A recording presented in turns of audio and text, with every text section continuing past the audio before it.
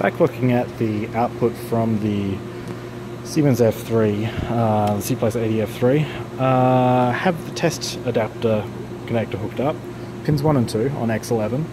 Uh, this is the Y0004 board. I believe these signals are coming from an IC underneath the board. There's a few of them under there.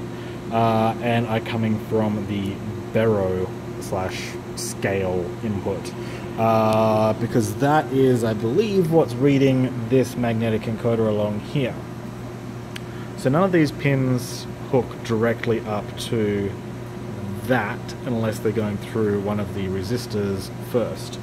Um, one of the reasons why I believe this is coming from the ICs underneath is we've got a nice square wave pattern. Some of the other pins on here do have a sine wave, uh, and that's typically, from what I've seen so far, what the sensors on the SIPLACE are outputting is basically all sine waves, uh, just the way they work. Um, so, I'm pretty sure this is coming from the magnetic encoder. Uh, it's a very, very fine output. Um, that's at 1.2 volts per div and 200 microseconds per division horizontally. So what I really like about this is it looks an awful lot like a quadrature encoder. So if I'm running it one direction, channel 1 is preceding um, channel 2, which is green, uh, and the other way, or if I push the gantry in the other direction, this is on the y-axis, um, there is a similar Bero unit in the head, and that's up here somewhere. Um, I believe that connector. So I'm assuming I'll find the same outputs on its test header, which is X28, as I do on this test header, except for the y-axis. Sorry, that's the x-axis across there.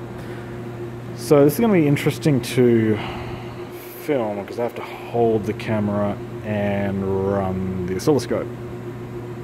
So if I run this, I can push really slowly and you can see the states changing as I'm pushing.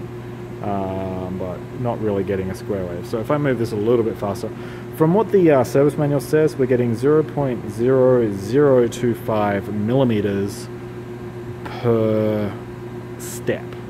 So I don't know if that is what this is outputting.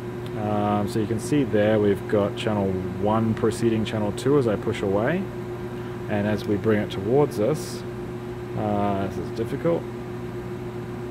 Uh, it's actually the other way around. So there, channel 2 is preceding channel 1 as I push away, sorry. And then as I pull towards channel 1 is preceding channel 2.